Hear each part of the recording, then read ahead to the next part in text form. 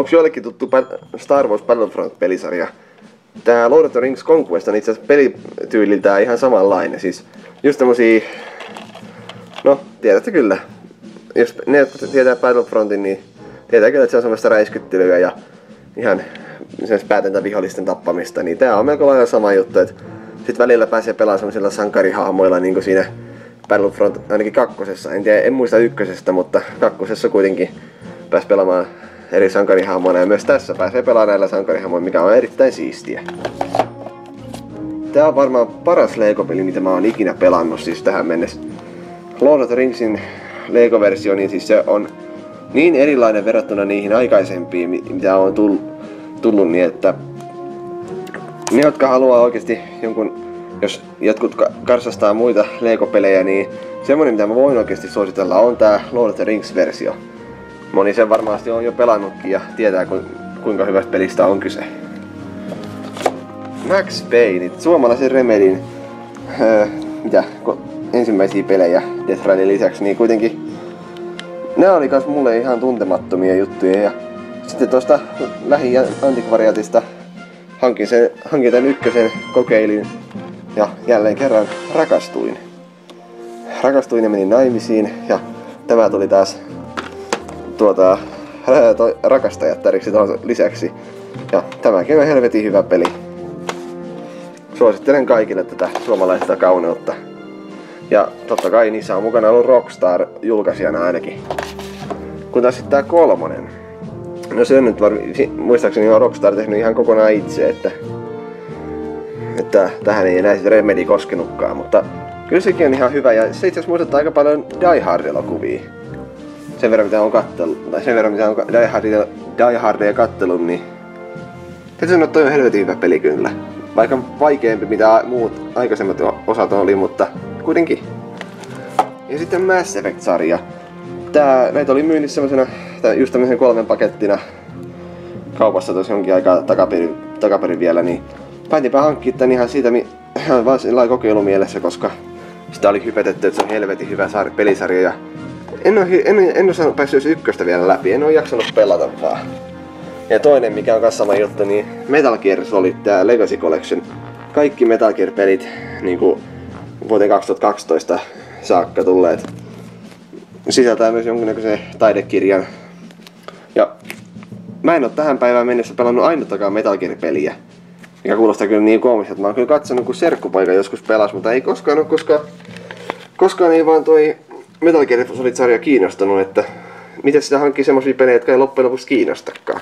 Ja täytyy sanoa, että kun mä oon niitä nyt ruvennut pelaamaan, niin eihän niissä pelien alussakaan anneta minkäännäköisiä vihjeitä, että millä kontrolloidaan hahmoa. Kun yleensä pelit alkaa sillä, että annetaan jonkinnäköisiä vihjeitä siitä, miten, miten hahmo kontrolloi, tai miten hahmon kontrollit toimii. Ja se on vähän häiritsee mua, koska ja eikä ole myöskään minkäännäköistä niinku varsinaista vihjettä, että mihin suuntaan pitäisi lähteä. Että kiitti vitusti. Mirror's Edge. Nelinpelille suuri kiitos tuosta arvostelusta, jonka tekivät tästä. He antoivat sysäyksen ostolle ja kyllähän nyt tarttuu mukaan. Loistava peli, semmoista first person tasohyppelyä ja räiskintää, niin kuin monet, monet tietää, vaikka se tasohyppelyhän siinä on se suurin tekijä, mutta tätäkään en ole kyllä jaksanut pelata kovin pitkälle. Se on vaan jäänyt sitten tuohon keräilykohteena. Tämä taas on vähän sellainen samalla kuin se tilastavuudelta reilusti parempi kyllä, mutta pelinä nyt ei kuitenkaan loppujen lopuksi mikään kovin kummonen. Tämä ei liity siihen elokuvaan millään lailla, vaikka siinä näytetäänkin näitä elokuvan pätkiä katsiineina ja muutenkin, mutta ei se lopullinen tarina ei liity tähän siihen leffaan mitenkään. Se on vaan tämmönen oma pikkupelinsä. Lego Parts of Caribbean, no se nyt ei tarvitse sen kummempia esittelyjä. Kaikki neljä leffaa pelein, Lego-peleinä siinä. Erittäin hauskaa. Ja Ratchet Clank-sarja itse asiassa oli pitkän aikaa semmonen tuota, pelisarja, jota mä karsastin tai oikeastaan niin jätin huomiotta, koska mä olin tottunut näihin Jack and Daxtereihin ja pelitehdissä mä olin lukenut kyllä, että näillä Jack and Daxterilla ja Ratchet Clankilla oli tavallaan niin kuin pieni kilpailu menossa, että kumpi on parempi sarja. Ja mä pitkän aikaa olin sellainen, että en hanki ikinä Ratchet Clankia, koska Jack and Daxter on mun sellainen suosikki. Mut sitten kun mä pelasin kaverin luona Ratchet Clankia ensimmäisiä kertoja, vaikka mä olin kyllä pelannut sitä demo, ykkösen demoa Pleikkari 2 demolevyllä, niin kuitenkin silloin se ei napannut, mutta sitten kun mä pääsin pelaamaan sitä koko peliä, kokonaista niin versio, niin silloin se nappasi kyllä mä, Sitten se lähti keräily. Ykkönen, kakkonen, kolmonen, Gladiator, Size Matters. Tää on kyllä hauska, tää on alun perin PSP-peli ja Pleikkari 2 porttaus on siitä aika köyhä, että se liike on niin tönkköä ja niin siis tuntuu, että se kaikki on niin jotenkin tökkivää. Ei ole niin oikein niin pelillisesti parasta laatua ja sen, takia, sen tökkimisen takia myös vaikeustaso tuntuu paljon isommalta. No, se on PSP-pelit, mitä voit odottaa. Ja Pleikari 3 tietenkin löytyy Tools Destruction, Quest for Booty ja Cracking Time. Tää Quest for Booty oli kyllä semmonen aika trolli, koska ysiluokalla oltiin leirikoulussa lä- lähdössä Lontooseen ja ostin tämän Helsingin lentokentältä pienestä putiikista, mikä siellä oli. Ja sitten viikon se makas siellä meikäläisen kassissa. Ja sitten kun pääsin sitä pelaamaan, niin parissa tunnissa se oli jo pelattu läpi ja mä ajattelin, että mitä tää on. No, toisaalta se on ihan hyvä tämmönen väliosa näiden kahden muun pelin välillä. Ja tää Cracking Time on ehdottomasti mun lempi Ratchet Clank. Niin niitä muita lisäosia mä en uskaltanut hankkia, kun se näyttää jotenkin niin hirveiltä. En tiedä. Ja tässä on taas yksi semmonen peli, mitä mä niinku pitkän aikaa tota, välttelin. Koska kun huomasin, että Rockstar on tehnyt ja kat, olin nähnyt vähän sitä, niin mietin, että jaha, tää on varmaan tämmönen GTA-versio, tai länkkäriversio GTAsta. Mä että GTA ei koskaan niin mua hirveästi kiinnostanut, niin jätin sen huomiota, kun sitten kaverit suositteli. Mä kokeilin ja rakastuin. GTA edelleenkään ei ole mun lempipeli, mutta kyllä Red Dead Redemption hakkaa GTA ihan ehdottomasti, ainakin meikäläisen kirjoissa. Ja Dead Nightmare tietenkin kuuluu mukaan lisäosana, mikä sen parempaa kuin zombeja mättää lännen meiningeissä. Red Faction Gerilla. Pelaaja X teki tästä arvostelun muutamia vuosia takaperin ja mä sitten tässä yksi kerta hankin sen ihan vaan kokeilumielessä jälleen kerran ja tääkin on helvetin hyvä peli. Geomod-pelimoottorin avulla se, ne kaikki räjäytykset ja muut hajottaa rakennukset ns, NS-reaalia se, se on jotenkin niin hienoa katsoa, kun kaikki räjähtää niin maanisesti paloiksi. Resistance Fall of Man, isän ostama meikäläiselle kokeilu mielessä. Ajattelin, että jaha, taas jotain toisen maailmansodan juttui. Silloin en tajunnut tosin katsoa tuota kalloa tossa ja sitten kun aloin pelaamaan, mä ajattelin, että mitä nämä alienit tässä nyt on. Voi perse. No, helvetin loistava peli. Jatkoa siihen kyllä viitti hankkia. Tää ykkönen loppuu mun mielestä sen verran hyvin, ettei, sä tar- ettei se välttämättä tarvinnut toi jatko-osia. Saha-peli. No, Kaivi on tästä arvostelusta tehnyt ja ei tää kyllä pelillisesti mikään kovin hohtava kruununheli mikään ole. Tuota, mutta ostin sen ihan omistushalussa, koska rakastan Saw-sarjaa ja kaikki ne Saw-elokuvat omistan. The Simpsons videopeli. Hauskasti videopeli alaa yleensäkin toi niin kuin parodioiva peli.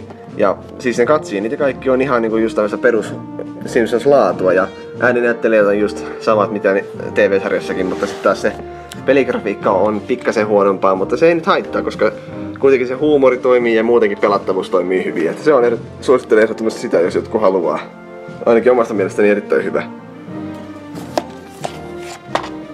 Hyi saatana, tähän, tämmöiseenkin on tullut joskus toi tulla rahaa, koska silloin kun tämän ostin, niin olin kattonut näitä High School Musical-elokuvia muun muassa siskoni kanssa ja jotenkin halus päästä itse lauleskelemaan niitä, kun silloin vielä SingStar tuntui jotenkin hienolta, niin ostin sen, mutta mä ajattelin, että se olisi ollut kuitenkin se, samalla kuin normi SingStarissa on se, että näytetään niinku näitä musiikkivideoita. Mä ajattelin, että tässä olisi näytetty leffas pätkiä, mutta ei, kun ne on kaikki animoituja ne laulajat. Ne vaan laulaa jollekin yleisölle ja bla bla bla, se on ihan hirveetä. SingStarit on tota, avokki, niin en omista niitä, en hirveästi SingStar enää perusta. Ja Sly Cooper-trilogia. Itse asiassa omistin näin kyllä alun perin Pleikka kakkosellekin. Mut sitten toi...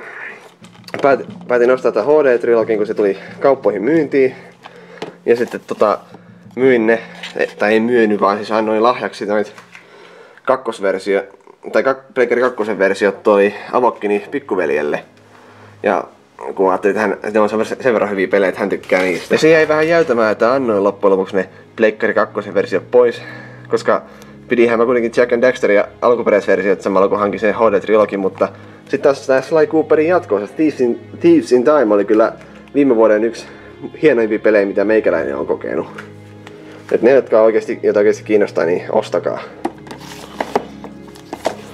En ole juuri, juurikaan Sonicia pelannut niinku koskaan millään se on konsolilla. pelata Pleikkari 2 monitoimisella ohjaimella tämmösiä ma- vähäis- vähäisiä kontrolleja omaavaa peliä.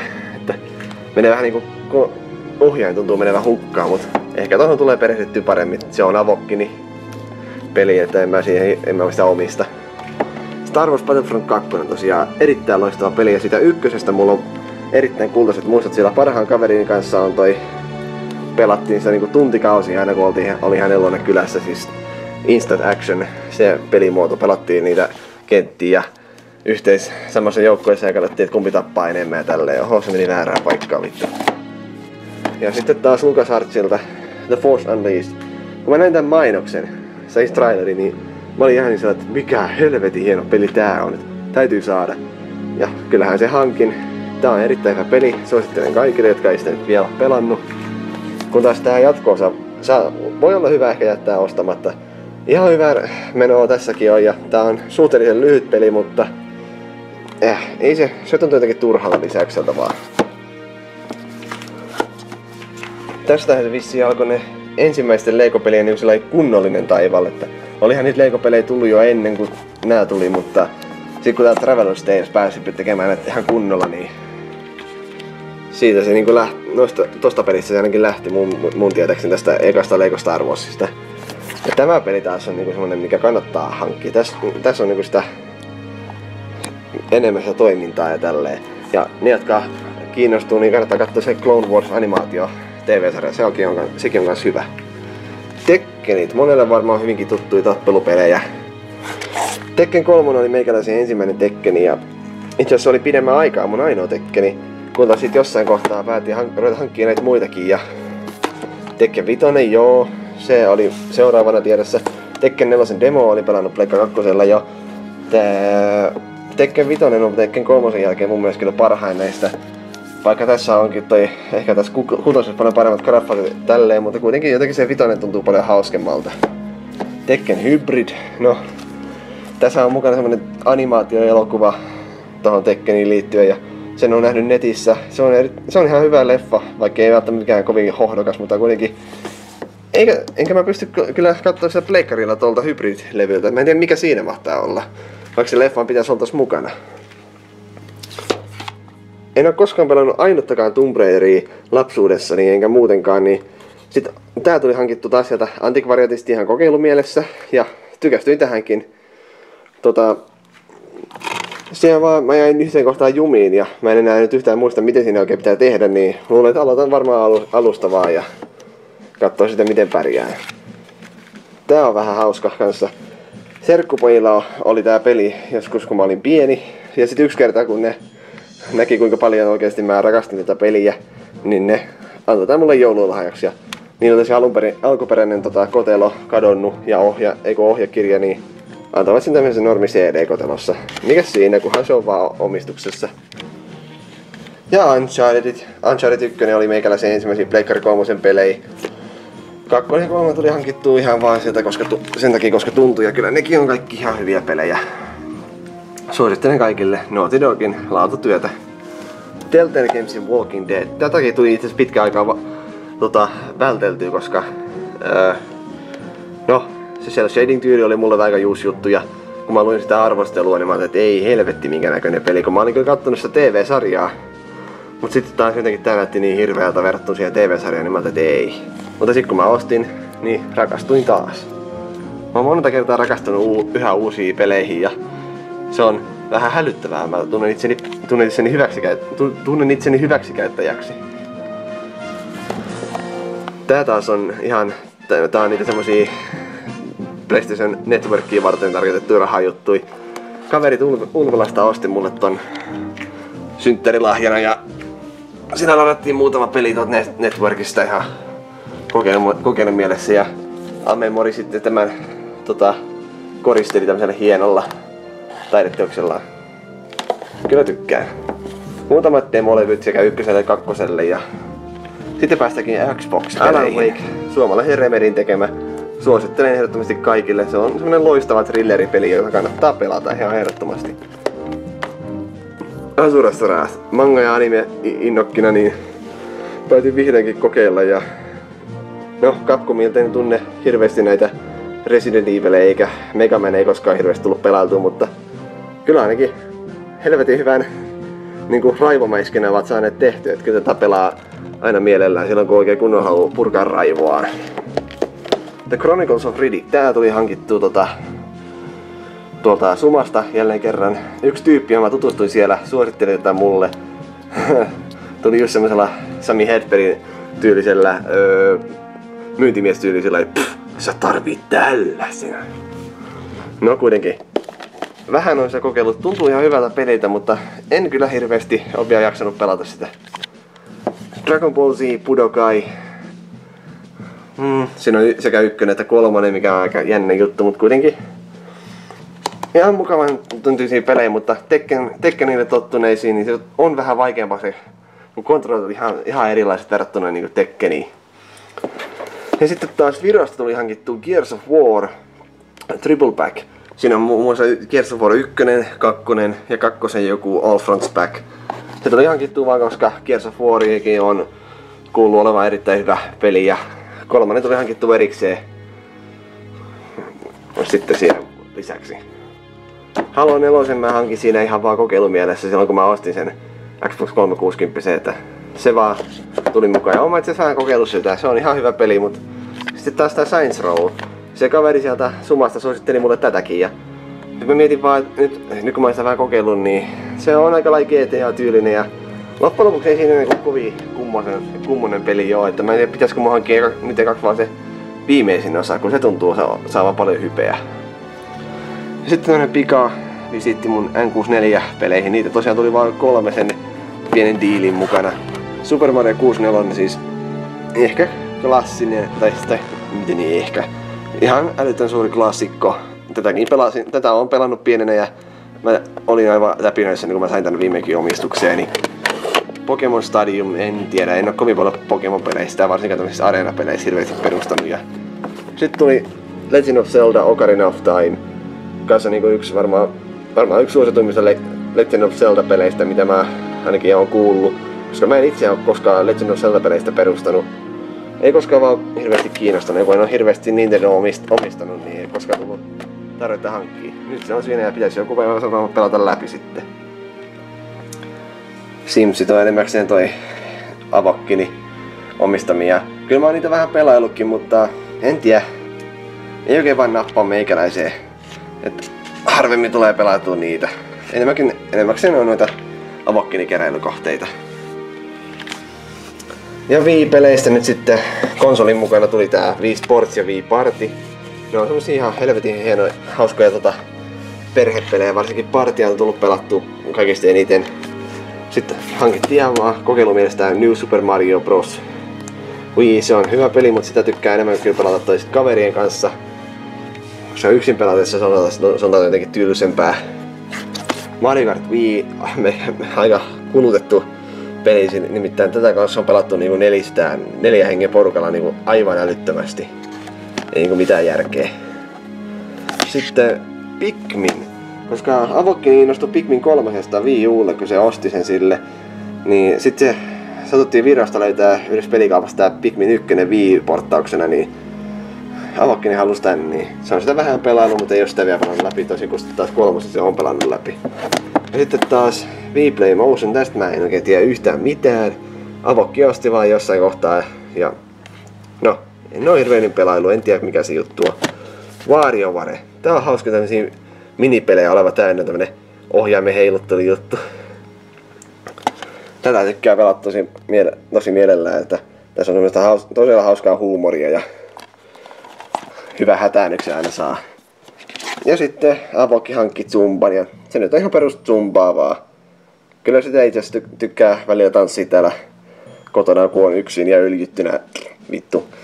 Tai sitten ihan vaan Avokin kanssa täällä vedetään kahdestaan Zumbaa. Minä läski seuraa mun Avokin perässä. Ja sitten vielä vaatimaton Wii U-kokoelma. 30 Great Games. Avoki osti tämän, en tiedä yhtään tästäkään mitään, kun jotenkin tuntuu vähän semmoiselta wannabe party-jutulta. Lego City Undercover, aika vaikea GTA-tyylinen pelaa niin peli ympärissä ja tolleen, vaikka tässä kyllä pelataan poliisilla, mutta kuitenkin avoimen maailman Lego City ja paljon niin erilaista pikkujuttua etittävänä ja tehtävänä. Suosittelen, jos omistatte Wii Uun, hankkikaa ihmeessä.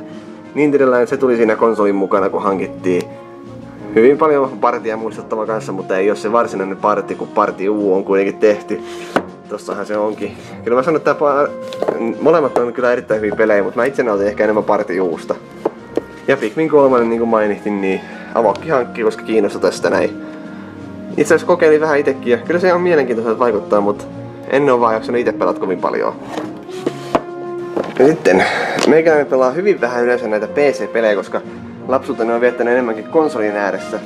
Mutta sitten taas tässä on mulle niinku yksi parhaimmista niinku PC-muistosta, mitä on ikinä ollutkin. Age of Empires 2 Gold Edition, jossa on mukana muun muassa toi Age of Kings ja Conquerors Expansion versio, niin sitä kun mä sain pienenä, niin mä olin ihan täpinässä, koska mä olin pelannut sitä ykköstä muistaakseni kaverin luona naapurissa ja voi pojat, kun tätä eka kertaa alkoi pelaamaan, siinä oli minä, isä ja kaksi serkkupoikaa mukana, niin kun sitten alettiin pelaa, aloitin vaan pelaa suoraan jotain tarinatehtävää, niin isä sanoi, että osaako varmasti pelata, että pitäisikö kuitenkin tehdä noin harjoitusjutut, niin mä sanoin, että joo, sen mä, pelannut tätä ennenkin, että, että antaa mennä vaan. Ja sitten kun tuli ensimmäinen taistelu, mä en tiedä mitä tässä pitää tehdä, auttakaa, otetaan harjoittelu kuitenkin. Joo, he, että loistava peli se on tämä. Ja kyllä, sitä kaikenlaista rompetta ja laitetta ja peliä on tullut hankittua tässä lyhyen elämäni aikana sitten.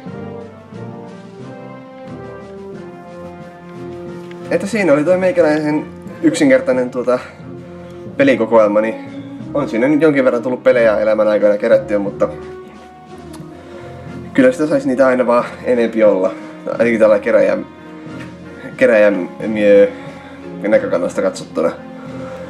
Mutta tämä video ei kyllä päätykään vielä tähän, että mulla on vielä toinen harrastus tällainen pikkusen esiteltävänä. Tässä on pienenä bonuksena ehkä. Että katsokaa.